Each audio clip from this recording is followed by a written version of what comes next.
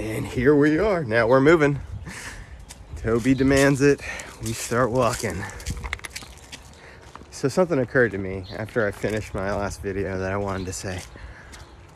Like I'm having I'm surprised that I'm having some difficulty finding the dates to some of these shows because I'm not that old. These shows these weren't that long ago. And you know, the internet's a thing. You know, it's like and I was thinking, it's like if I was running a theater, I would that would be like the first thing I would do. Like post these are the shows we've had here. I'd be very proud of that.